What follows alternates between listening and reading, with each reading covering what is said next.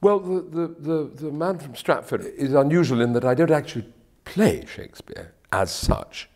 Uh, I talk about Shakespeare, I, I evoke Shakespeare, I become Shakespeare's characters, and one hopes that eventually a sense of who Shakespeare is emerges from this, and that you have a feeling that you've kind of met him. The interesting thing in this show, because I'm not really attempting to give you, um, you know, uh, uh, extracts from the plays as such, I'm trying to take, make a journey through Shakespeare's life in which we pick up on the resonances from his plays. So as the play is a kind of big echo chamber of William Shakespeare's work, his times, and we hope eventually of his mind and his mental landscape.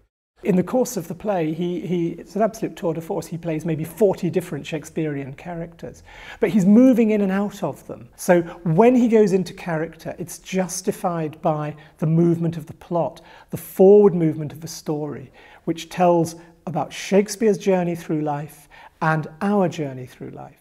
The, the, the, the spine of the play is the great speech from As You Like It of Jaques' The Seven Ages of Man. And that's really our journey through the play, through Shakespeare's life, through human life itself, through Shakespeare's plays.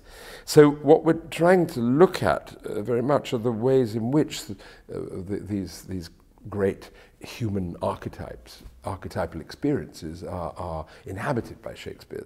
I think the wonderful thing about this show is that when you go away from it, you won't be so scared of Shakespeare. You'll have discovered that his story is the story of all our lives.